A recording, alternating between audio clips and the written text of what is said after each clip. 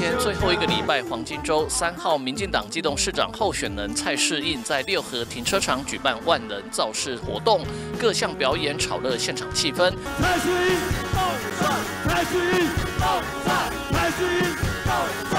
长候选人、民进党市议员候选人以及支持者更是挤爆现场。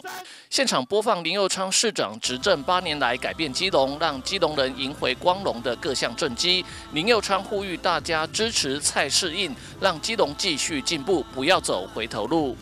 他都要讲过，我做欢乐，我做唔甘的。我这八年来，咱的枪安尼拼。把基隆市的负债减少这么多，已经嘛欧北亏净给，请公关公司开了很多的证件，但是这些证件他自己都搞不清楚。下面被分高高楼啦，那高高楼也崩我来崩了后啊。然后很多的这些政策，他自己都没有办法去实践，所以我们绝对不能让这样的一个力量重新回到基隆。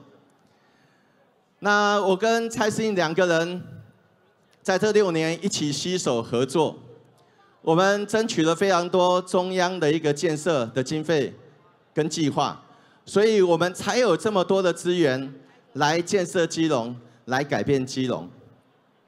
未来我也会牵着蔡思应的手，全力的给他支持，全力的给他协助。过去林佑昌。来不及做到的事情，让蔡思印帮大家完成，好不好？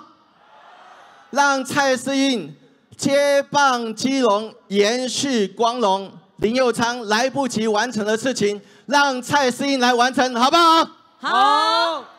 总统蔡英文也亲自到场加油打气，肯定林佑昌在基隆执政八年的成绩，强调他应该是来基隆最多次、最关心支持基隆建设的总统。同样呼吁大家要顾票、拉票、冲票，让蔡世应接棒林佑昌，延续基隆的光荣。我们基隆人不是没有给国民党机会过，国民党的候选人当过三届的基隆立委。中央跟地方长达十多年的时间，都是国民党执政，结果十几年的执政，基隆却是停滞不前，施政满意度掉卡位，基隆的财政快要破产，基隆捷运的计划前前后后改了一堆版本，唯一的共同点就是没有下文。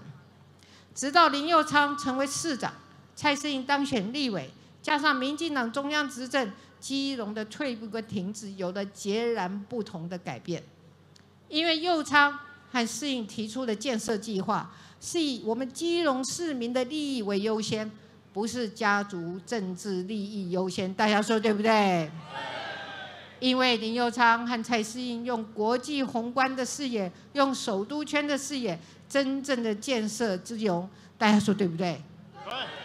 现在他也提出一个很棒的计划。叫一二零零首都通的政策，县长知道这个政策的，请举手看看好吗？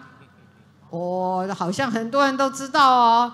你们是不是觉得这个政策很棒？是不是很棒？我觉得很棒啊！一千两百块吃到饱，北北基头我们可以自由行，是不是？我们让适应当选市长，我们每个月只要一二零零台铁、公车。国道客运、捷运以及 U 拜一票就可以用到底，大家说好不好？好。基隆市长候选人蔡适应更强调，他把人生最精华的岁月奉献给基隆这块土地。如果这样不是基隆人，什么才叫基隆人？拜托支持者催票、拉票、集中选票，让蔡适应顺利当选。我们希望基隆的进步不可以走回头路。大家对不对？对。剩下六天，春那刚就是我们重要的选择的时刻了。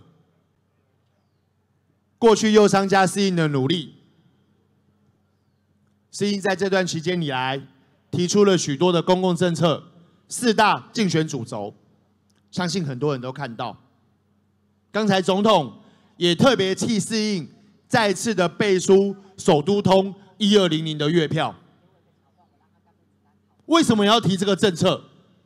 因为我知道基北北桃共同生活圈通勤是重要的这件事情，不是每个人都有车子可以开，有许多人需要透过通勤的方式到达他上班上课的地方。